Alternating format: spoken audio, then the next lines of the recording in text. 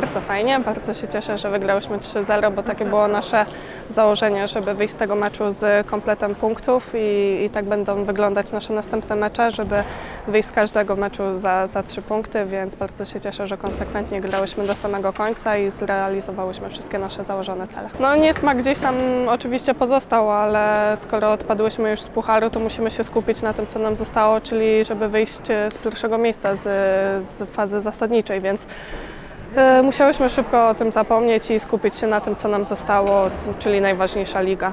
E, co wyszło? No przede wszystkim przegrałyśmy 3-0, więc mm, ogólnie nie wyszedł na mecz. Natomiast e, w pierwszym i tym trzecim secie jednak próbowałyśmy e, stawić opór żółwiankom e, i te sety nie były najgorsze, natomiast popełniliśmy bardzo dużo błędów, zwłaszcza w pierwszym secie. e, Co się później po prostu zemściło. Jeżeli chodzi o drugiego seta, to za bardzo nie wiem co powiedzieć, bo, bo był fatalny.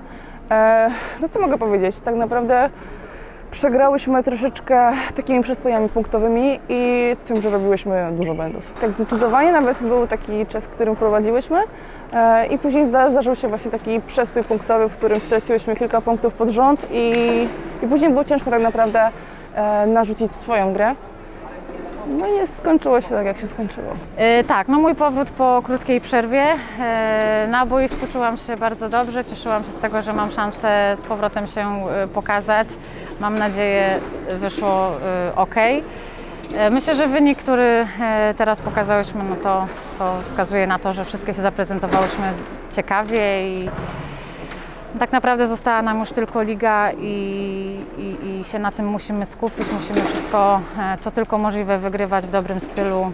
Mam nadzieję, że tak będzie już do końca sezonu. To znaczy, z racji tego, że, e, że do tego pucharu, do Final Four nam się nie udało e, dostać, mamy teraz zaplanowane dwa dni przerwy. Więc myślę, że ten czas poświęcimy i na regenerację, na odpoczynek taki fizyczny, ale też na właśnie pewnego rodzaju jakieś przemyślenia. Y, Na pewno trenerzy to będą też robić, ale myślę, że każdy z nas w ten sposób y, spędzi ten czas. No i tyle, no, trzeba wyciągnąć konsekwencje z tych naszych porażek i, i jakieś wnioski i oby to wyszło nam na dobre.